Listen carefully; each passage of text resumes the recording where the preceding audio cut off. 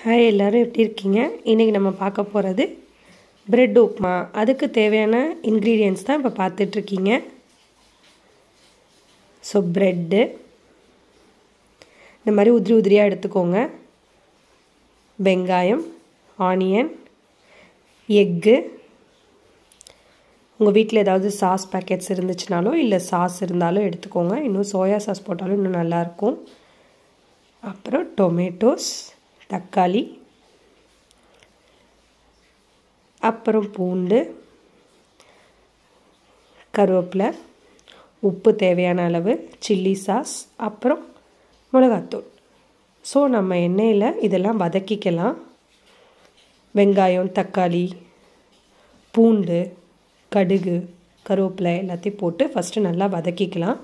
சீக்கிரமாக வதங்கணுங்கிறதுக்காக கல் உப்பு சேர்த்துக்கிட்டாலும் இன்னும் நல்லாயிருக்கும். இல்லை தூள் உப்பு சேர்த்துக்கிட்டிங்கனாலும் ஓகே. எதுனாலும் ஓகே. ஸோ இன்னும் நல்லா சீக்கிரமாக வதங்கிடும். நல்லா வந்து ஒரு கன்சிஸ்டன்சி வரும். அந்த சமயத்தில் நீங்கள் வந்து மசாலா ஐட்டம் எல்லாம் ஆட் பண்ணிடலாம். ஸோ ஆட் பண்ணிவிட்டு நல்லா வதக்கலாம். பெரிய ஒன்றும் மசாலாலாம் கிடையாது. ரொம்ப சிம்பிள் மசாலா ஐட்டம்ஸ் தான். ஸ்பைசஸ் பெருசாக ஒன்றும் நம்ம போடலை. இன்னும் இஞ்சி பூண்டு பேஸ்ட் போட்டிங்கனாலும் இன்னும் நல்லாயிருக்கும். நல்லா வதங்க விட்டுருங்க.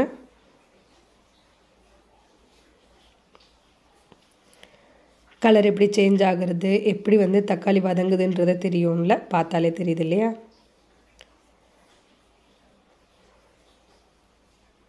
ஸோ நல்லா வதங்கினதும் நம்ம பீட் பண்ணி வச்சுருக்க எக் இருக்குல்ல அதை இதில் சேர்த்துடலாம் சேர்த்து நல்லா அந்த எக்கு வந்து வெந்து வர மாதிரி. ஸோ அந்த சமயத்தில் இந்த துண்டு துண்டாக வச்சுருக்க ப்ரெட்டெல்லாம் போட்டுடலாம் அப்போ தான் அந்த ஃபுல்லாக எக்கு வெந்துடக்கூடாது ஸோ அப்போ தான் நல்லா இந்த ப்ரெட்டோட ஒட்டும். அப்போ அந்த டேஸ்ட் நல்லா என்ஹான்ஸ் பண்ணி கொடுக்கும். ரொம்ப சிம்பிள் ரொம்ப ஈஸியாக செஞ்சிடலாம். அவ்வளோதான் ப்ரெட் உப்புமா ரெடி